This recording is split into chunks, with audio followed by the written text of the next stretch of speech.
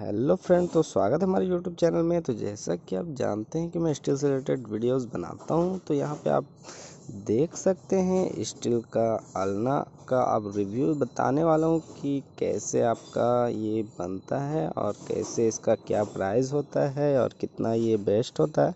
तो सब आज इस वीडियो में आज जानेंगे।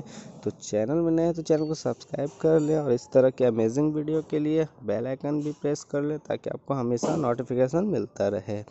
तो चलिए हम बात करते हैं इस अलना की।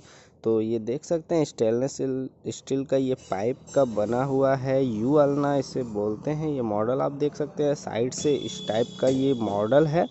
और बात करें तो ये फोल्डेबल अलना है तो जैसा कि आप यहाँ पे देख सकते हैं, ये नट बोल्ट से यहाँ पे, ये नट बोल्ट से ये टाइट किया हुआ है, ये जितना भी है यहाँ पे तो ये फोल्डेबल अलना है। तो जैसा कि देख सकते हैं, ये फोल्डिंग होने के बाद छोटा हो जाता है तो बिल्कुल एकदम छोटा हो जाता है और इजी है, बिल्कुल कुछ नहीं है, बस नट बोल्ट से टाइट हो जाता है।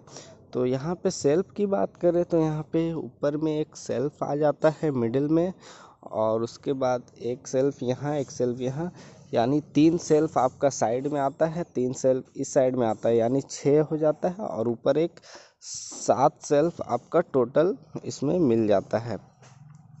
और नीचे आपको तीन पाइप मिलता है। अगर आप कुछ रखना चाहें तो इजीली रख सकते हैं, कोई भी दिक्कत नहीं होती है। और साइड की बात करें तो साइड बस सिंपल है, ये एक इंची राउंड पाइप का ये पाइप है और ये पाइप आपका फाइव एट का है, यानी पाँच सूत का पाइप है। और डिज़ाइन देखने में काफ़ी अच्छा लगता है, काफ़ी कम जगह में ये हो जाता है। और इसकी प्राइस की अगर बात करूँ तो ये आपको, मैं जैसा कि वेस्ट बंगाल की बात कर रहा हूँ, ऐसे तो और सब जगह की अलग हो सकती है।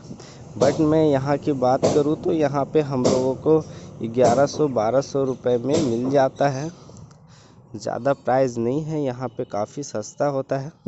जबकि अभी प्राइस बढ़ा हुआ है, इसलिए ग्यारह, बारह सौ रुपये में आ जाता है।